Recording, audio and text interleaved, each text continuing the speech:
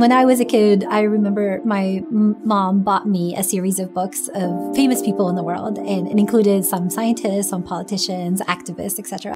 I was absolutely fascinated by Louis Pasteur, and I wanted to be a Louis Pasteur when I grew up. So I had this dream that I would grow up to, to study microbes and the immune system and how to fight microbes, and that's that's all I've ever wanted to do.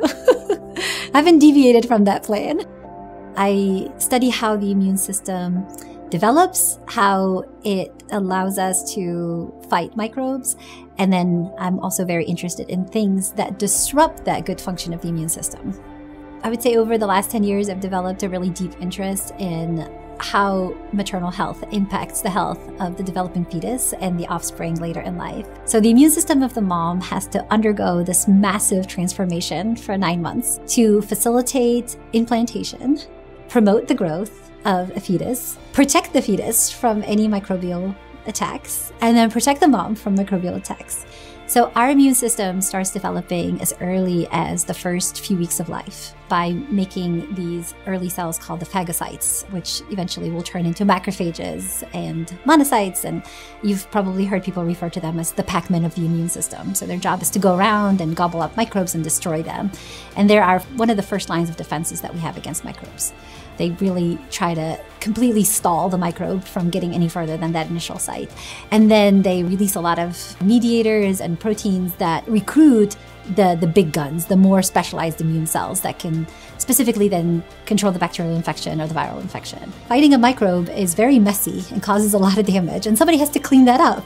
And so these cells then have to turn around from being these antimicrobial like crime fighters to then being a cleaning, wound healing, repair set of cells. And those cells develop super early at a time where there's, you know, huge influence from the maternal side.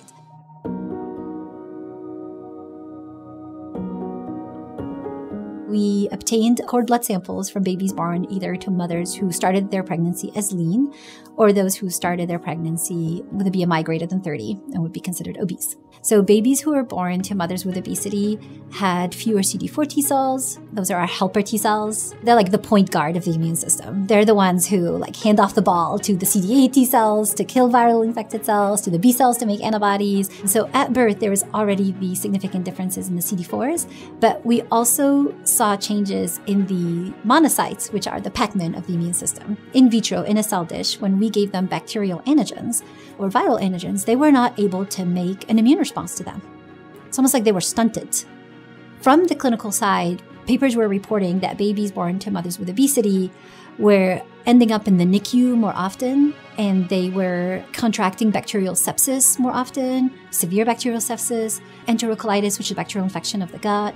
We were able to show that the epigenetic landscape was completely different in the cells when they came out of babies who were born to mothers with obesity. Basically, they were set up to kind of fail or not function properly from the very beginning. What we're noticing is there's a lot more inflammation in the placenta from moms with obesity. They don't respond as easily to these challenges that we're giving them in vitro because they've been bombarded with all this inflammation for the last eight months. And so this is their way of adapting to that and sort of dialing down the inflammation. So they are hypo-responsive, they're sluggish.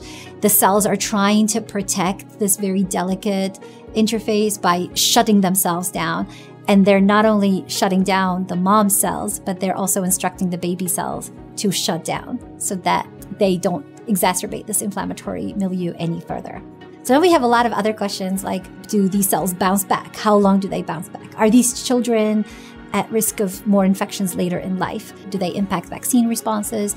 Do they impact the severity of just common childhood infections? So we're continuing that project having trainees in the lab is incredibly invigorating because they just approach things with a different perspective.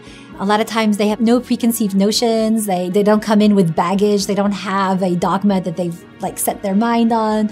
They bring in fresh ideas. They just keep me young and keep me on my toes. It's always a great day when my trainee knows something that I don't know or they show me something new because that's what I want. That's, that's what I want to see. I want them to be bigger and better than me and kind of outgrow me and, and go on.